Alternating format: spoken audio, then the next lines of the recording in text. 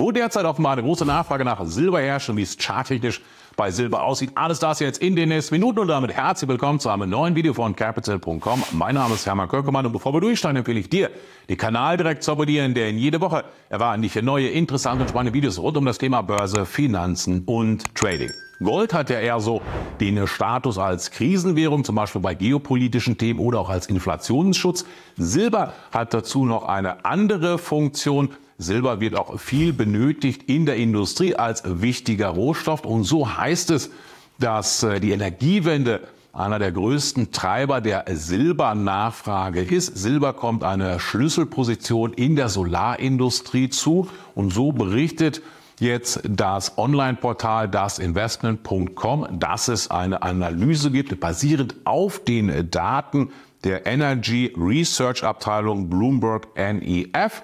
Und dort heißt es, dass alleine dieses Jahr rund 250 Millionen Unzen Silber benötigt werden zur Herstellung von Photovoltaikanlagen. Und das würde rund 30 Prozent des weltweiten Silberangebots entsprechen. Wie es charttechnisch momentan bei Silber aussieht, das schauen wir uns jetzt gemeinsam an auf der Plattform von capital.com. Los geht's. Auf geht's, wie gewohnt, im Wochenchart und da verschaffen wir uns zunächst erstmal wieder einen Überblick. Ja, und wir sehen es, dass wir hier einen Aufwärtstrend bekommen haben, Bewegung, Korrektur, Bewegung, Korrektur und wieder Bewegung.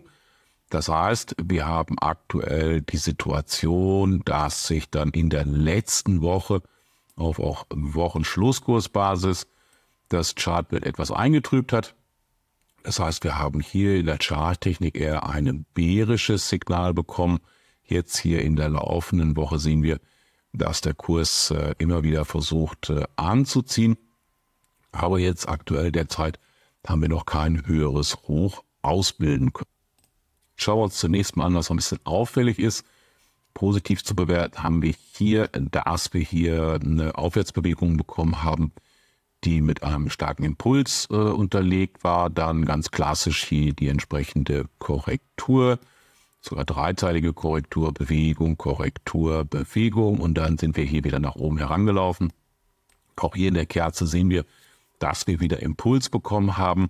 Was mich aber dann an der ganzen Geschichte stört, sind zweierlei Sachen. Zum einen, wir sehen es hier, wir haben in diesen Wochenkerzen entsprechend tiefe Korrekturen. Das heißt, äh, nach dem Impuls ist die Kerze oder der Kurs immer wieder recht weit in die vorangegangene Kerze hineingelaufen. Das ist aus charttechnischer Sicht zumindest mal für mich unser erstes Warnsignal, dass das äh, nicht so viel unterfüttert ist mit Power nach oben, wie wir es beispielsweise hier in dieser Kerze gesehen haben. Wir sind kurz zurückgekommen und dann wieder mit Schub nach oben. Hier sehen wir das Gleiche, sondern ähm, es war eher schwierig. Das haben wir hier zum Beispiel auf der Unterseite, hier die Bewegung da, also immer wieder tiefe Korrekturen und dann hat sich das Ganze entsprechend umgekehrt, also hat das Ganze entsprechend gedreht. Also das Erste, was mich gestört hat. Das Zweite, was mich dann hier ein bisschen gestört hat, war, das sehen wir hier. Wir haben hier die Top-Bildung und dann eben per Schlusskurs sind wir nicht hier eben entsprechend nach oben äh, per Schluss über das äh, vorherige Top herausgekommen. Das heißt, wir haben hier wieder Schwäche in den Markt bekommen. Dementsprechend dann auch im Nachgang sehen wir, dass wir diese rote Kerze bekommen haben. Wir haben zwischendurch kein höheres Hoch bekommen, sondern direkt hier sind wir nach unten weggefallen und auch per Schlusskurs unter den äh, vorherigen Kerzenkörper gefallen. Das bedeutet nicht, dass wir zwingend jetzt eine Korrektur bekommen müssen, so dass der Kurs hier nach unten wegfällt, sondern es ist lediglich erstmal ein Warnsignal, dass hier Schwäche in den Markt hereinkommen könnte. Es kann auch umgekehrt laufen, dass wir hier nachhaltig wieder auch per Wochenschlusskursbasis nach oben durchlaufen. Also das Ganze äh, bleibt erst noch äh, aus meiner Sicht abzuwarten. Deswegen ist für mich erstmal wichtigster Widerstand auf der Oberseite bei rund 32,25 Dollar. Auf der Unterseite hätten wir einen Bruch des Aufwärtstrendes, wenn wir hier unter dieses Tief fallen würden, so grob über 26 US-Dollar. Wir sehen es ja hier, wir haben hier die Bewegung, die Korrektur, dann wieder die Bewegung. Da sind wir noch ein ganzes Stück von entfernt. Sollten wir allerdings hier nach unten durchbrechen, vielleicht auch mit der leichten Korrektur, wäre für mich auf der Unterseite die wichtigste Unterstützung hier im Wochenchart grob bei 24 Dollar 58. Wir sehen es aus diesem Bereich heraus, haben wir doch mal diesen schönen Impuls nach oben bekommen mit dieser leicht hier zu sehenden kleinen, leichten Konsolidierung. Und dann sehen wir auch äh, parallel dazu, dass wir an dieser Marke noch nicht zurückbekommen sind, also noch kein Retest an dieser Stelle gehabt haben. Der gleitende Durchschnitt tendiert noch hier unten bei grob 21,95 Dollar. Der könnte also noch äh, unterstützenderweise nachlaufen. Und wir sehen auch, wir sind hier im RSI wieder, weder überkauft noch überverkauft. Im Tageschart ja, da sehen wir es, haben wir Bewegung, Korrektur, Bewegung, Korrektur, Bewegung, Korrektur, Bewegung. Hier eben auch das identische Problem, dass wir auch auf Tagesschlusskursbasis nicht über die vorangegangenen Tops, über die äh, vorangegangenen Hochs hinausgekommen sind. Wir sehen auch hier eben entsprechend, dass wir diese Kerzen haben mit diesen tiefen Korrekturen, nicht so wie hier, wo wir entsprechenden Impuls bekommen haben und somit dann im weiteren Verlauf sehen wir, dass dann hier der Kurs weggebrochen ist, also entsprechend korrigiert hat. Wir sehen auch, wir haben hier das letzte Tief, also hier das Hoch, hier das Hoch und dann eben hier den Aufwärtstrend gebrochen haben. Das heißt, wir sind aktuell trendlos. Der Aufwärtstrend wäre wieder aufgenommen, wenn wir hier oben bei äh, grob 33 US-Dollar nach oben hinauslaufen würden. Und der Abwärtstrend wäre intakt, wenn der Kurs hier nach unten wegfällt, also unter das Tief so grob bei, wo sind wir hier, äh, etwas über 30 US-Dollar, dann hätten wir einen entsprechenden Abwärtstrend. Interessanteste Unterstützung für mich hier im Chartbild ist aktuell grob der Bereich bei 27 US-Dollar 87. Wir sehen es hier aus diesem Bereich so ganz grob heraus. In der Vergangenheit haben wir hier Impuls bekommen, kurze Korrektur, Impuls, Korrektur, Impuls. Dann sehen wir, dass wir hier eine kurzfristige Unterstützung hatten, die einmal unter, äh, durchbrochen worden ist.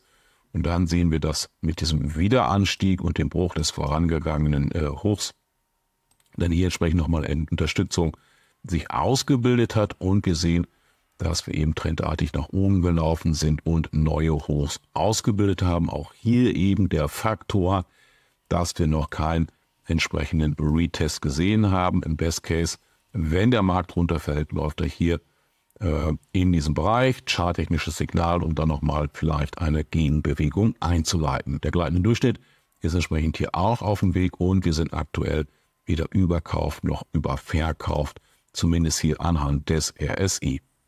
Die möglichen Widerstand würde ich gleich behalten, wie im Wochenchart bei 32 Dollar und 50 so grob, denn wir sehen es hier aus diesem Bereich heraus haben wir dann entsprechenden Abgabedruck bekommen. Durchaus möglich, dass wir dann hier nochmal in diesem Bereich einen leichten Retest sehen. Na, 32,25 ist es nicht 32,50 Dollar. Damit sind wir schon im Stundenchart und selbst im Stundenchart sehen wir, dass das neue Hoch nicht per Schlusskurs ausgebildet worden ist. Ähm, wir sehen auch hier, wir haben hier Bewegung, Korrektur, Bewegung, Korrektur. Dann Bewegung, hier das zwischenliegende Tief. Da haben wir dann den entsprechenden Bruch und dann geht es weiter. Bewegung, Korrektur, Bewegung. Das heißt, wir haben hier nochmal einen entsprechend starken Impuls nach unten bekommen. Und dann sehen wir hier im weiteren Verlauf, dass wir eine längere Seitwärtsphase hatten. Hier nochmal der Versuch, an der Unterseite nach unten durchzubrechen. Das ist eben entsprechend nicht gelungen. Und dann sehen wir eben hier, wo wir eben diesen Trend haben, Bewegung, Korrektur, Bewegung, Korrektur, Bewegung, dass wir dann hier in diesem Bereich diesen Trend zunächst erstmal gebrochen haben und jetzt derzeit hier im Stundenchart sehen, dass sich hier im Stundenchart zunächst erstmal aus technischer Sicht ein Aufwärtstrend ausgebildet hat. Da bleibt es abzuwarten, wie sich das Ganze weiterentwickelt, ob es ein Fehlausbruch wird und wir vielleicht sogar nach unten hier wieder wegfallen oder ob wir eine kurze Korrektur bekommen grob in diesem Bereich und dann der Markt wieder nach oben zieht. Zumindest erstmal wichtigster Widerstand auf der Oberseite 23, äh, 32 US-Dollar 25, wie auch eben im Wochen- und im Tageschart auch. Und zwecks Sichtbarkeit jetzt hier sind aufgeräumt auf der Unterseite wichtigste Unterstützung grob bei 30 US-Dollar 31, also hier in diesem Feld. Denn wir sehen, wir haben hier ordentlich Schub nach unten bekommen, dann die Korrektur und dann ist es hier nicht gelungen, eben den Kurs weiter nach unten durchzudrücken, sondern wir haben diese Konsolidierungsphase bekommen und haben von da aus dann wieder hier entsprechend Impuls nach oben bekommen. Hier nochmal Impuls und dann jetzt aktuell hier auch nochmal den Impuls. Also von daher für mich äh, auf der Unterseite die wichtigste Unterstützung 30 US-Dollar 31. So, und erstmal zu meiner Einschätzung rund um Silber, wie es weitergeht. Das bleibt natürlich zunächst erstmal abzuwarten, aber zumindest haben wir uns vorbereitet mit den entsprechenden Widerstands- und Unterstützungsmarken im Wochenchart, im Tageschart und im Stundenchart. Denkt bitte immer dran, alles, was wir hier im Video und im Chart zu besprechen, das kann so kommen, das muss nicht so kommen. Ich hoffe jedenfalls, das Video hat dir gefallen. Wenn das so ist, dann lass doch bitte einen Daumen nach oben da und vergiss nicht, den Kanal direkt zu abonnieren, dann bist du immer informiert, wenn es ein neues Video gibt. Bis dahin wünsche ich dir viel Erfolg beim Traden. Mach's gut. Bis zum nächsten Mal.